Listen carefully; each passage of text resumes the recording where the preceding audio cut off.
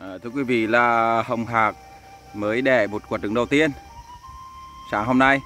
Hôm nay ngày bao nhiêu ta? Hôm nay là ngày 10 uh, à, ngày um, today what? À à five o'clock hả? À 6 giờ sáng. 6 giờ sáng sáng hôm nay là ngày 21 hay 22 tháng 7 âm lịch là ngày 17 tháng 6 âm lịch.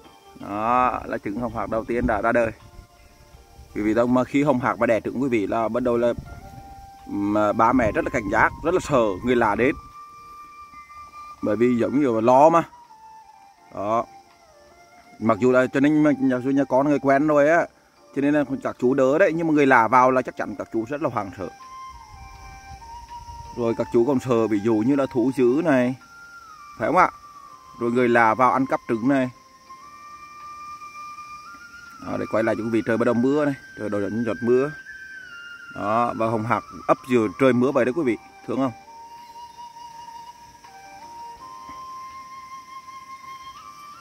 Thưa quý vị nhìn xa xa vậy thôi nhưng quả trứng hồng hạc này khoảng cỡ là nó khoảng cỡ như quả trứng ngỗng đó quý vị. To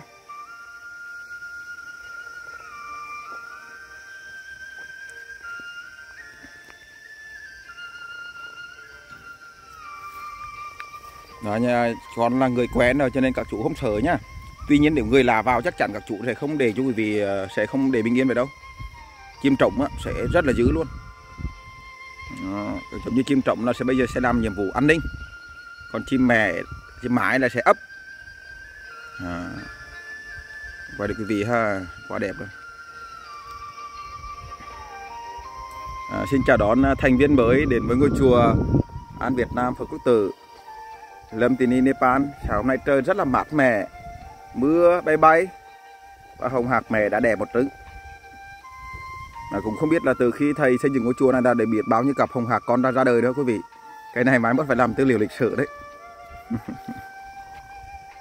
Chủ trong chùa còn nói là ngày xưa nếu thầy ở đấy á mà nếu như mà sáng sớm nay mà trứng đẻ như vậy là hôm nay thầy cho các chú nghỉ làm và đi uh, party đấy, đấy thưởng thức giống như là có một buổi tiệc đấy.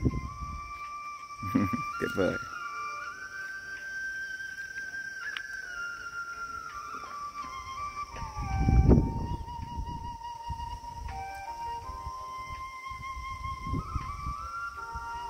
Đấy, chim thấy quý vị thấy ông chim mãi bắt đầu ấp rồi đó. À, thương chưa? À,